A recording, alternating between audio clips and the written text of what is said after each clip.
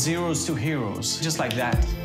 People flew to Scandinavia to eat. From America, from Asia, just to dine at Noma. As a cook, you're creating a language. We need an alphabet to build sentences. The ingredients are our alphabet. And the more letters we have, the more beautiful the prose. There's this element of Mozart about him. He has this automatic access to genius. We're not following a recipe, we're creating a recipe. He does things, sees things that wouldn't even cross my mind.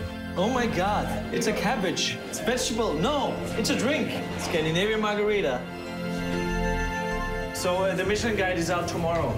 Do we need it in our lives? Probably not, but it would be nice to have. I don't understand how this can happen. I just don't get it. He's a very dominant person.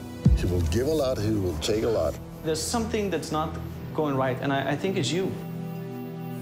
Do I believe that there is a best restaurant in the world? Of course not. It's fucking ridiculous. But it changed our restaurant forever. We had to push ourselves and show something new.